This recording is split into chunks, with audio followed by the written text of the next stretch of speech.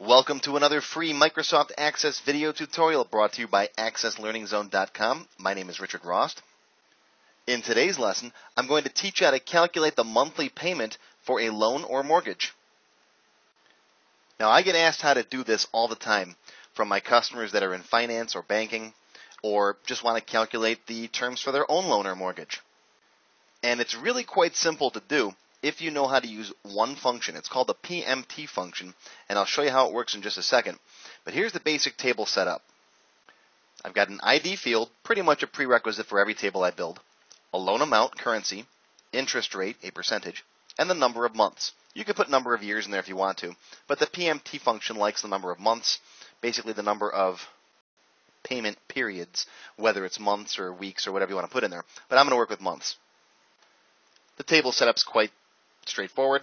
ID, long integer, auto number. Loan amount's a currency. Interest rate's a double, formatted as a percent. And number of months is a long integer. Now we could use a calculated table field for this in Access 2013. I personally don't use calculated fields in tables. I don't like them. Yes, there are some exceptions, but I like to use queries to do my calculations. So I'm going to save this table and head over and make a query. Create, query design. Going to add my loan table to the query, hit close. I'll bring in the asterisk so I have all those fields. And now we need to create a payment function using the PMT function. Now the PMT function needs three bits of information. It needs the annual interest rate, but you have to divide that by the number of payments per year because it's an APR. Next, number of total payments, so the number of months, for example and then the amount of the loan. How much are you financing? And for those of you who are curious, yes, this is the exact same PMT function that you'll also find in Excel. So I'll add this in as a calculated query field as monthly payment, payment, colon, PMT, the PMT function, open parenthesis. The first thing is the interest rate divided by 12. So interest rate divided by 12, comma. The next thing is the number of months, number of months, comma. And finally, the loan amount. Now, Access gives you the final monthly payment as a negative number because it figures it's a payment. You're sending money out. So I'm going to multiply that by negative 1, just so it flips it and makes the result positive. Press enter. Let's save the query. I'll call this my PMTQ, my payment query. And now let's run it. And let's open this up. There we go.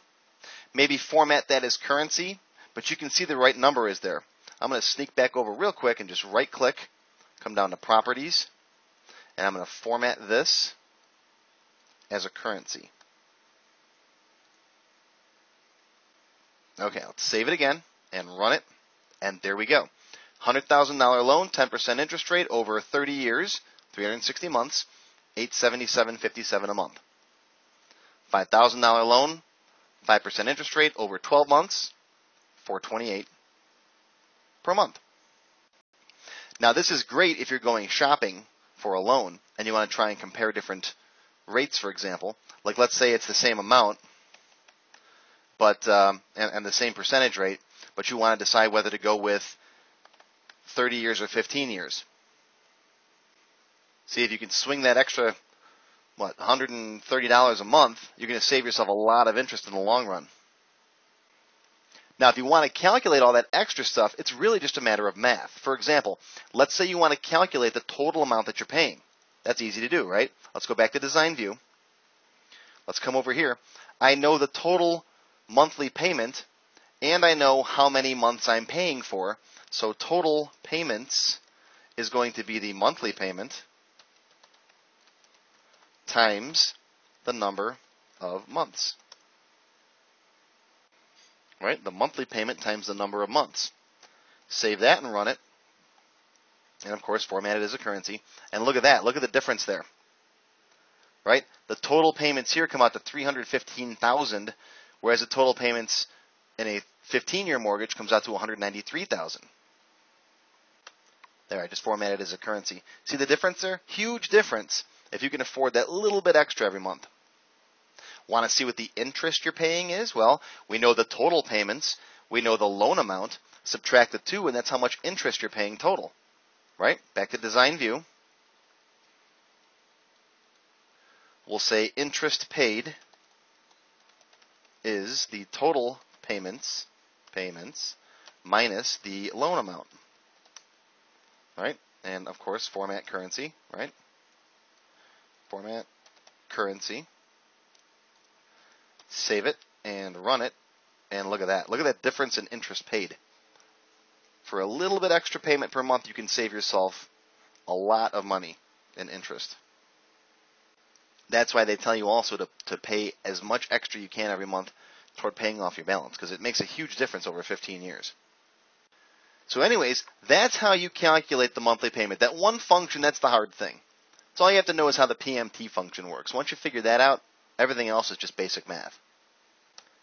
Now, if you're interested in learning more, I have a whole seminar on my website dealing with loans and what's called amortizations, where it breaks down every month of the payments, figures out the beginning balance, the ending balance, how much you're paying in principal versus interest for each payment. It allows you to track the payments made by the customer and apply them to both the regular payment and an extra amount to pay off the balance. You can work with different types of frequencies instead of just monthly, if you're going bi monthly or quarterly. It's got several different reports you can print out, including a full loan schedule for the person getting the loan. It's got a complete client list with multiple clients.